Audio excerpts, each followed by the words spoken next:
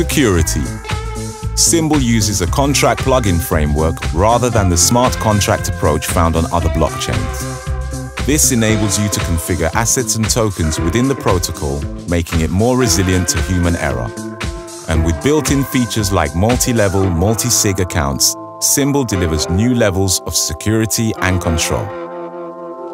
Symbol, powering possibility.